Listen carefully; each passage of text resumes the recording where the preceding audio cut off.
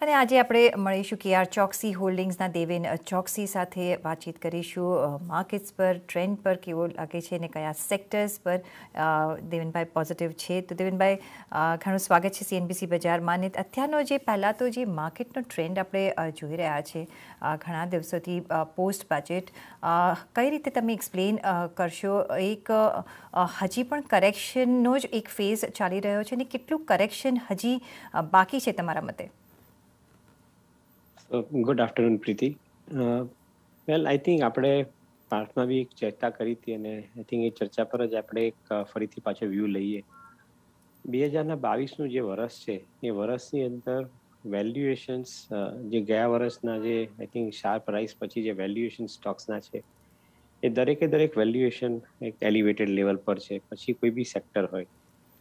And by and large a valuations either time correction અથવા price correction સાથે improve થશે એવું મારું માનવું છે. Given the situation in two thousand twenty two કે એક તરફ high cost of raw material દરેકે દરેક ઇન્ડસ્ટ્રીની અંદર સિગ્નિફિકન્ટ અમાઉન્ટ ઓફ પ્રેશર ઊભું કરી રહી છે ઇનપુટ કોસ્ટ અને પ્રોફિટ માર્જિન માટે.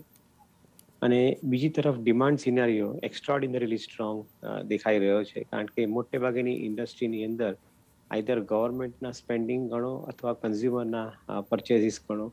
આઈ થિંક ઇન્ડસ્ટ્રીને માટે સમય ડિમાન્ડ પોઈન્ટ ઓફ વ્યૂથી જોઈએ તો બહુ સરસ સમય છે. પછી મોટી કંપની લાઈક એશિયન પેન્ટ હોય અથવા નાની મને મીડિયમ સાઇઝની કેમિકલ કંપની હોય અથવા આઈ થિંક બીજા ઘણા ક્ષેત્રની અંદર આઈ થિંક ઇનપુટ કોસ્ટ વધારે હશે છતાં પણ બિઝનેસ કન્ડિશન સારી છે. સો એનો અર્થ એમ થાય છે કે આ માર્કેટની અંદર દરેકે દરેક ઘટાડામાં બાય કરવું પડશે અને જેવી રેલી આવે એની સાથે પ્રોફિટ બુક કરવા પડશે.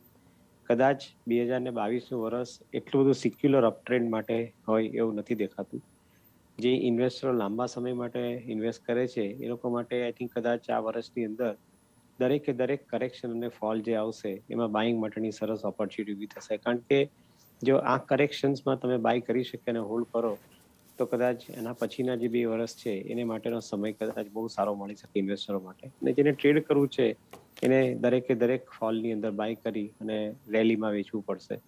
I think this is how I would summarize the the the market I don't see fundamentally કોઈ એવા નેગેટિવ કારણો except pressure on profit margin on the country I feel that I think corrections જે તેની તારીખમાં આવશે એ ભલે કોઈ બી કારણસર આવે I guess I think it will be an opportunity for investors દેનભાઈ એ જ હું મારો નેક્સ્ટ ક્વેશ્ચન હતો કારણ કે આપણે જે થર્ડ ક્વાર્ટરના રિઝલ્ટ્સ હતા એ તો આપણે એક સારા seventy percent of the results આપણે એક પોઝિટિવ ટ્રેન્ડમાં જોયા છે અપમૂવ સાથે જોયા છે સારો એવો પ્રોફિટ અને રેવન્યુઝ અને માર્જિન્સમાં પણ એક એવો સુધારો જોયો છે પણ તો પણ માર્કેટનું આપણે રિએક્શન એટલું પોઝિટિવ નથી જોઈ રહ્યા અને તે તમે જેમ કહ્યું કે જે વેલ્યુએશન ઘણા હાઈ હતા, એ આઈ થિંક કરેક્શન મોડમાં આવી ગયા છે, પણ શું એક જીઓ પોલિટિકલ જે ટેન્શન્સ બિલ્ડઅપ થઈ રહ્યા છે, યુક્રેન, રશિયા વચ્ચે. એની પણ એક અસર અત્યારે દેખાઈ રહી છે. સો આઈ થિંક વર્લ્ડની અંદર દરેકે દરેક સ્ટેજમાં કોઈને કોઈ એવી ઇવેન્ટો થતી જશે કે જેને કારણે આઈ થિંક માર્કેટમાં એની કોઈ નેગેટિવ ઇમ્પેક્ટ આવી શકે. આપણે લોકો સ્મૂથ ટાઈમ્સની અંદર તો છીએ નહીં. બે વર્ષની અંદર પેન્ડેમિક રિલેટેડ ઇસ્યુઝ થયા. એના પછી લોકડાઉનને કારણે I think significant amount of ઇન્ડસ્ટ્રીને જે હેસલ્સ થઈ તે આપણે જોયું. અત્યારે જીઓ પોલિટિકલ સિચ્યુએશન કદાચ આવી હોય અને એને કારણે ઇકોનોમી વર્લ્ડની ઇકોનોમીની અંદર કદાચ તમારે થોડા ઘણા નાજુક સમયમાં આપણે એન્ટર થયા હોઈએ. I don't think that I think એનાથી કંઈ બહુ વધારે લાંબો ફરક પડવો જોઈએ. કારણ કે એક વસ્તુ ચોક્કસ છે કોઈ પણ નેશન્સને આજની તારીખમાં વોર પરવડે એવું નથી. Because I think nobody has got that kind of resources to fight wars તો I don't think that I think war is a solution અને એટ ધ સેમ ટાઈમ જો આ ટાઈપના પ્રેશર બિલ્ટઅપ થવાને કારણે માર્કેટ થોડા નર્વસ રહેવાનું અથવા કરેક્શન રહેવાનું કોઈ બી કારણસર હોઈ શકે. એને કારણે કદાચ તમારા ઇકોનોમીની અંદર થોડા ઘણા cash also I think systematic shakeout થઈ જાય. અને એ બી કદાચ રિઝલ્ટન્ટ રીઝન હોઈ શકે જેને કારણે માર્કેટ સબ્ડ્યુટ રહે. પણ એઝ મે આઈ સેડ એનેમાં મેચ્યોરિટી સાથે તમારે માર્કેટમાં એક કરવું પડશે. કદાચ આવા સેન્ટિમેન્ટ્સ આવે, એ સેન્ટિમેન્ટની અંદર તમે જો કરેક્ટિવ પ્રાઇસમાં લઈ શકો I think this market is giving you a lot of opportunities uh, in the buy and falls and I think selling rights જેવી સિચ્યુએશન તો બાય એન્ડ ફોલની સિચ્યુએશન વધારે બની રહી છે. તો કઈ તમે એવી ઓપોર્ચ્યુનિટીઝ અત્યારે જોઈ રહ્યા છો દેવિનભાઈ કે જ્યાં ઇન્વેસ્ટરે નજર રાખવી જોઈએ અને ટ્રેડરે પણ એક ઓપોર્ચ્યુનિટી લઈ શકે છે? સો આઈ થિંક મેન્યુફેક્ચરિંગ સેક્ટરની અંદર ઓટોમોબિલમાં particularly commercial vehicle looks absolutely well position કારણ કે જે રીતે ઇકોનોમીમાં નવા ડેવલપમેન્ટ ચાલુ છે ઇકોનોમીમાં એક્સપેન્શન ચાલુ છે ઇન્ફ્રાસ્ટ્રક્ચરના પ્રોજેક્ટ્સો આવી રહ્યા છે, તો commercial vehicles would be direct beneficiary commercial વ્હીકલને electric vehicle સાથેના જે નિયમો છે તે કદાચ ઇમિડિયેટલી લાગુ નથી પડતા, કારણ કે electric vehicles more applicable towards two wheelers and four wheelers for the time being but અને પેસેન્જર વ્હીકલ્સ ફોર વ્હીલર્સમાં પણ કમર્શિયલ વ્હીકલ્સની અંદર I think the IC engines are likely to continue for another fifteen twenty years so મારું પોતાનું એક એવું માનવું છે કે કમર્શિયલ વ્હીકલ્સ માટેનો સમય કદાચ વધારે બેટર રહેશે હવેના ટાઈમમાં કન્ઝમ્પશનમાં એવી જ રીતે હાઉસિંગ ફાઇનાન્સ કંપનીઓ જે છે તે લોકો હાઉસિંગની સામે ફંડિંગ કરે છે, એની માટેનો સમય સારો રહેવો જોઈએ. જે બેન્કો અને એનબીએફસી રિટેલ ક્રેડિટ એક્સટેન્ડ કરે છે, એ લોકો માટે એક સરસ સમય આપણે જોઈ રહ્યા છે. અને એની અંદર likes of Bajaj finance ICICI bank એ ટાઈપની બેંકો છે, એ લોકો હંમેશા ફ્રન્ટ પર હોય છે. So I think this banks are looks NBFC and banks are looking good similarly I think જે રીતે ઇકોનોમીની અંદર કોર્પોરેટ ક્રેડિટના ઓફટેક વધવાનું શરૂ થયું છે because of ગવર્મેન્ટનું significant amount thrust toward MSME અને નવા પ્રોજેક્ટ્સ જે રીતે ઇન્ફ્રાસ્ટ્રક્ચરમાં આવતા જાય છે. તેમ તેમ I think industrial consumption is also increasing in each and every area, be it metal, be it commodity, like I think chemicals, or be it in the area of uh, the APIs in the pharmaceuticals, uh, or for that matter, even uh, other commodities, ferrous, non-ferrous commodities, etc. તે દરેકે દરેક જગ્યાએ consumption improve થઈને આવી રહ્યું છે અને કારણે બેંકની ક્રેડિટ ઓફટેક વધી રહ્યો છે so even the bank with credit offtake outlook is looking good તો યસ આઈ થિંક મને એવું નથી લાગતું કે કોઈ એવા કોઈ ક્ષેત્ર બાકી રહી જતા હોય કે જેની અંદર તમને ઇન્વેસ્ટમેન્ટની ઓપોર્ચ્યુનિટી નહીં મળતી હોય દરેકે દરેક ક્ષેત્રમાં એક ઇન્વેસ્ટમેન્ટની ઓપોર્ચ્યુનિટી મળી રહી છે. On the country I believe that જે કંપનીઓની સાઇઝ મોટી છે, જેની પાસે ability to deliver the larger side of order book is there એ કંપનીઓ માટેનો કદાચ સમય સારો રહેશે.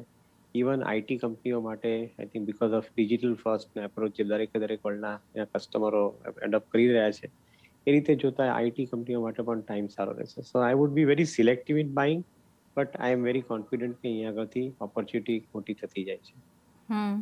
પણ દેવનભાઈ આગળ જતાં તમને શું લાગે છે કે જે રીતે ગવર્મેન્ટે પણ બજેટમાં આપણે જોયું કે ઇન્ફ્રાસ્ટ્રક્ચર ડેવલપમેન્ટ હોય અને બધા જ બિઝનેસીસને એક અપમૂવ આપ્યું છે.